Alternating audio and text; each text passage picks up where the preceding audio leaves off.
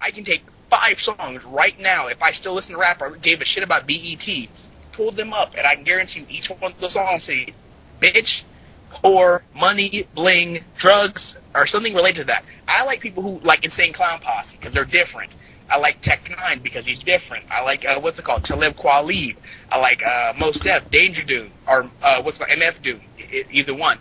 Anyone who can actually make me think, hell, Flobots. I'll even listen to them. And I'm done.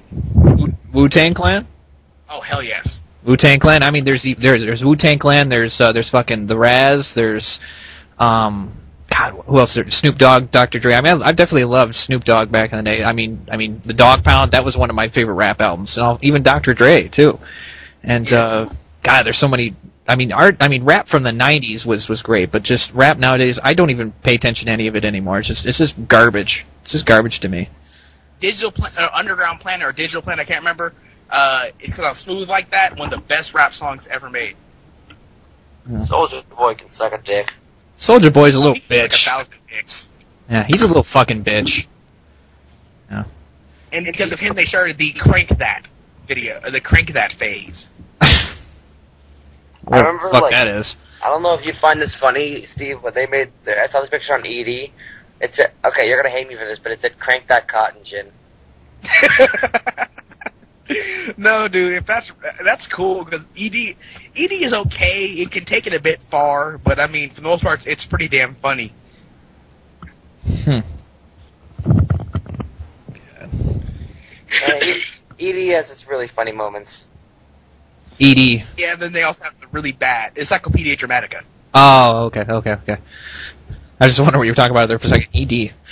Because they will rip, they rip into furries like freaking cotton, like freaking uh, construction paper. And I can laugh at that, but then when they start throwing around the N word, I get a little bit testy. That's just me. Yeah. Hmm. Eh, I'm pretty much by. I don't really care about racism anymore. I don't either. It's it's it's, it's like a, it's you figure by now it either it either died down quite a bit or it's it's um, it's gone completely. But it's probably it's really never going to go away. It's there's you're still going to have some racist people there, and especially people in the South that that uh, fly their their their their uh, their flag. Uh, I think it's what is it the Union Jack? uh, Not the Union Jack, but the uh, Confederacy. Confederacy. yep the other one. And uh, No, that, that's it. Because the Union was the was the North. Yeah, yep. But uh, yeah, you'll still run into some really racist motherfuckers, and it's it's it's really it's really annoying. It's you know, Well, I'm from I'm from down south. I'm from Florida, and like I'm like right like ten minutes away from the Georgia border. I've I've known people from all over the South, and for the most part, it's actually pretty well died down. It's just the older people let it let it burn up and let it get hot and let it get heated and let it uh, what's it called gets out of hand. oh yeah, yeah. You'll still get a lot. You'll still get a lot of uh, a lot older people just just really still having that that old mentality. It's like, you know, I'm gonna I, I hate this this certain race. I hate this certain color person. It's like I'm gonna I'm gonna just just say this word, say that word, blah blah blah. Say eh, I'm gonna say the n word. I'm gonna say this. You know, it's like a damn damn bleep. It's I don't want to say it, but it's just those kind of people. Yeah, they're still around. Yeah, That's sick. it is. So let's see. What else should we bitch about? Gilgamesh? Uh, Oh yeah, I, um, I had uh, I did a video a co- uh, a little a little bit back, a little bit further back, a little while back, um, about the music industry. What what do you um, what are you guys' thoughts on the music industry? uh, I only have a little bit to say on them. Basically, that they ruin music by so, by enforcing copyright infringement laws that don't that affect people who aren't selling the music. They're trying to steal from them. They're just trying to listen to it and enjoy it. How many people out there have actually bought a CD and had your computer go to the blue screen of death because you bought your CD, put it in your uh, computer, and thought you were going to burn it? Yeah. It's like I, it's like I, I just I just quit buying CDs. It's like um I, I hated having to go to the store and, and since I found iTunes it's like it's like you know I'm I'm not gonna buy a CD anymore and if and if I can't find the album on iTunes I'll go into a store and buy it. I mean it's like I bought my uh, Tool albums. I bought the albums by Tool. I didn't find it on I couldn't find it on iTunes. I went into Best Buy and they had all four of them. They had all their albums at the time and uh, I can understand some artists not wanting to put their albums on online and still wanting them us to do the old-fashioned way. You know, go to the store, pick up an album, pick up a CD, and buy it that way. But uh, it's it's like going the way of the uh, of it, it's like going the way of the of, of Betamax and VHS and a lot of technologies just th- going away of that. Yeah, true. Eh. I'm kind of a. I don't know. I, I do illegally download. I admit it, but I usually get it legally. I try to do that too. I mean, I, I try to uh, avoid LimeWire now. I mean, I I did use it a, quite a bit. I mean, I found a lot of videos on there. I found my porn on there too. Um, Oh yeah. oh yeah. I did find I would find songs on there that I couldn't find anywhere else, but now since I found iTunes, I've just been using that. Uh, uh, Hmm. Anything else you want to talk about, guys? um, what do you th- what do you think about the, the, the current music? What do you think about like you know like the rap and the rock and the metal and all those genres? What what do you th- are you think any of them are any good or just you know just um like just just churning out like Jonas Brothers and all that bullshit? Most of it's just terrible, in my opinion. Yeah. I mean, I said in my video, it's yeah. Go ahead. For me, it's basically it's become quite boring. I mean, a lot of like the stuff we grew up with, like like the old school rap and the old school rock, and some of the even some pop rock that I actually like, like the Spin Doctors, like Hmm. them. But though for the most part, it's not even entertaining anymore because that that rap has invaded rock in some aspect. Uh, It's basically just again like objectifying women and stuff like that.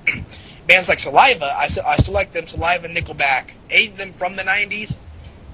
They're still respectable, but everyone else coming in either is respectable but doesn't get the airplay like Yellowcard. I thought I thought they were really really good, but got pushed off to the side for bands like uh, what's it called, like the Jonas Brothers and everyone else coming up who really weren't important enough that should have even gotten a contract. And now Anna that Montana.